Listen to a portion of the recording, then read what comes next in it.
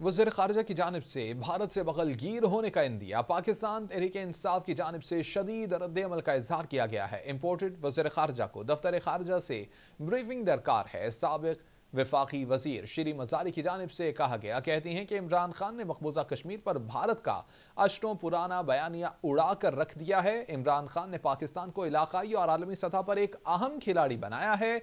श्री मजारी कहती हैं कि पी टी आई दौर में चार माह में इस्लामाबाद में ओ आई सी के दो इजलास हुए। इम्पोर्टेड सरकार शर्मनाक अंदाज में आदाब गुलामी बजा ला रही हैं।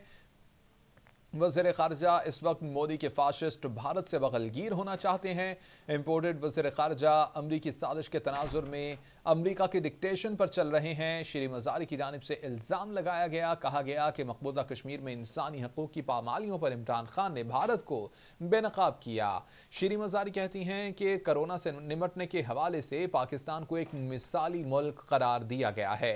इस्लामोफोबिया के खिलाफ इमरान खान की मुतारफ करदा करारदाद। यू एन ने मंजूर की श्री मजारी की जानब से ट्वीट में लिखा गया।